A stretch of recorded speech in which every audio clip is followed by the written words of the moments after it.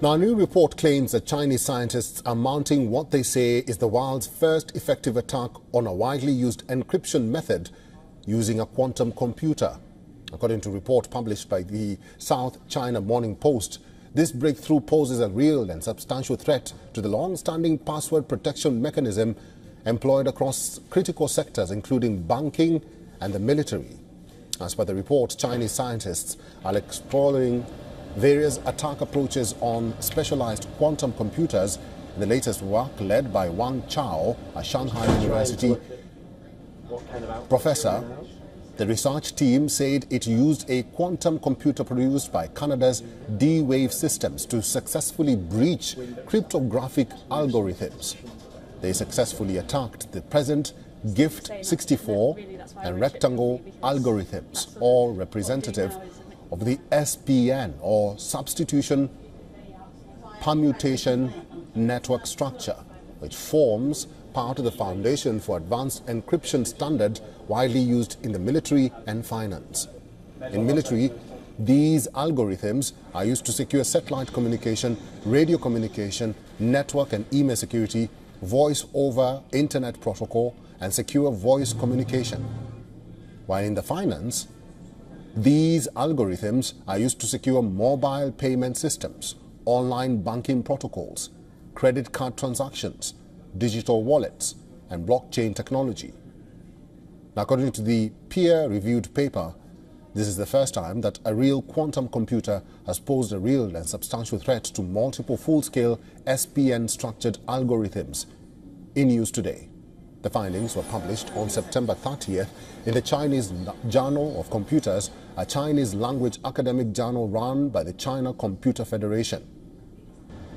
D-Wave Systems, the world's first quantum computing company, originally designed the D-Wave Advantage quantum computer to solve some practical problems. The machine has been used by Lockheed Martin to test fighter jet control software and by Google for image recognition tasks having no direct connection to cryptographic decryption. That is cryptographic encryption. The D-Wave Advantage quantum computer employs an algorithm named quantum annealing, which simulates the metallurgical process of heating and then cooling to toughen metal. It enables the rapid resolution of mathematical challenges. Wang Chao described it in his paper as akin to an artificial intelligence algorithm with the ability to globally optimize solutions. His team combined this algorithm with traditional mathematical methods to devise a new computational architecture. He also noted the current limitations of quantum computing. He said it had much potential but was hindered by environmental interference underdeveloped hardware and the inability of a single attack algorithm to target multiple cryptographic systems. He noted that as the field of quantum computing evolves, further breakthroughs are anticipated. He stated that through this exploration, it is expected to establish a computing architecture that combines artificial intelligence algorithms with quantum effects and mathematical methods in the future.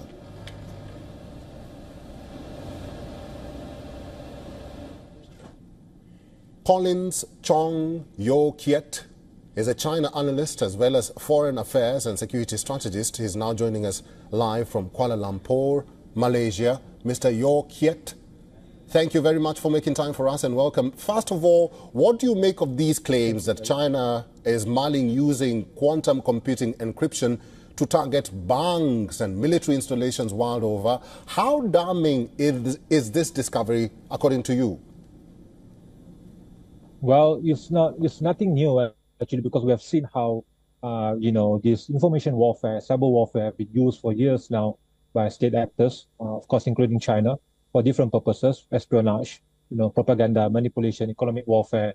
So and and and countries have you know robust systems in place to prevent these uh, intrusions into their systems, and uh, this latest you know update, you know, of course, raises uh, different you know risks as well as you know wariness on the part of different countries.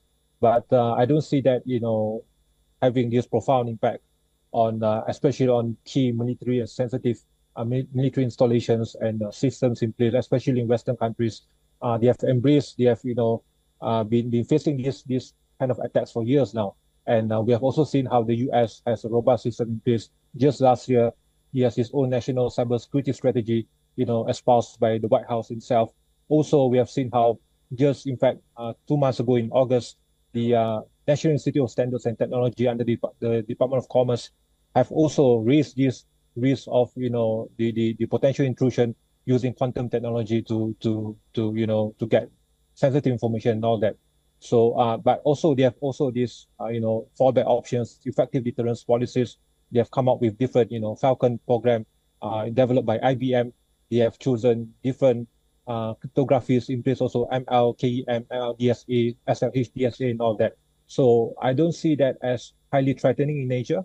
And uh, there's for sure that uh, the Western country, especially, you know, among the Five Eyes intelligence and other Western countries, especially the US, have developed robust deterrence and fallback option to to anticipate this kind of, you know, quantum breakthrough, either by China or maybe to a certain extent Pyongyang or Russia. So um, this is still in early stages, and uh, it, it you know, it is aligned with the the earlier concerns being raised by top officials from the US, and they have, uh, I believe, robust systems in place to prevent this from uh, having a direct threat to key military uh, domains of the US in particular. Eric. I think uh, one of the biggest problems why this is concerning is the mention of the finance sector and also the military installations. But uh, Wang Chao described it in his paper as akin to artificial intelligence algorithm with the ability to globally optimize solutions. Can you briefly explain in layman's language what that means? Well, we have, you know, existing threats, you know, itself from, you know, existing groups that are being linked to China. Of course, we have seen how the APT, the Advanced Persistent Threat, uh, different state, you know, sponsored groups that have targeted, uh, you know, different countries, you know, including, of course, mostly Western countries, Australia, Canada, Germany, of course, India as well, and of course, New Zealand and, and the US. So um, this, this lead towards quantum capacity and the uh, targeting of key financial domains that might have a profound impact on uh, you know global financial security, digital systems are not new actually, but uh, you know the the fact that it uses now the new uh, you know critical sector of know, AI based and quantum based capacities that might change the entire equation of uh, digital security as well as cyber security. But uh, this has been in place actually for, for years before this anticipated uh, capacity comes into the picture. And uh, I believe that, uh, you know, we have seen previous, uh, you know, cases, you know, incidents where, you know, these, these incidents have happened either by state-sponsored groups or by independent groups. And we have also seen the, the, the negative fallout from that. But uh, for for this to actually happen and to be actually sanctioned by the Chinese government, uh, you know, knowing that you know other countries will have this, uh, you know, eventual evidence that will be linked to the Chinese government, uh, will be of you know little minimal impact or interest for China itself to to eventually you know uh, consider this option. So to me, uh, it's still very much in early stages. I don't see that as a, very concerning uh, game changer in terms of uh, the overall domain and uh, the sphere of digital security. The US and the other combined Western capacity, especially the Five Eyes intelligence, combined expertise in this aspect will ensure that uh, it will always consistently stay ahead of whatever breakthroughs that uh, the Chinese might have or the Russians might have in this aspect. And we have yet to see, as of now, any major cyber ops that have, you know, successfully crippled the key sensitive military, you know, projects or you know, okay. potential uh, efforts by the U.S. so far. Mr. Yew Keat, I want you to make this brief and short. We are living in a world where artificial intelligence is fast evolving, and now there is the field of quantum computing. What are the immediate breakthroughs or advantages of these two systems that the world should anticipate briefly? Yes, uh, we are, of course, indeed living in a new age now, of course, being uh, led by AI and uh, quantum capacities in which, uh, you know, some of the potential implications are beyond imagination that would change you know, the entire conventional approaches that we have you know, used to be living under for the past uh, many decades. And uh, that's why we have seen this, you know, scramble towards dominance, superiority in these two aspects by, you know, of course, China and the US and other allies. Uh, it's of great importance for us to, to join hands to ensure that it's not being used negatively, it's not being used to the benefit of uh, certain state actors for their own geopolitical, you know, interests. And it has to be used responsibly and uh, for, for also to, to protect key infrastructures, especially in the finance domain, as well as key uh, you know, political and international security uh, calculations, especially in, in, in, areas of great you know tensions in South China Sea, in Indo-Pacific, and uh, this might be used wrongly to the advantage of certain actors, and uh, it's of great importance for for for different countries. They are aligned with this rules-based order and values-based approach to, to, to come together to synergize and to pool their efforts and resources. I have to stop to, you. To consolidate I'm sorry. their expertise.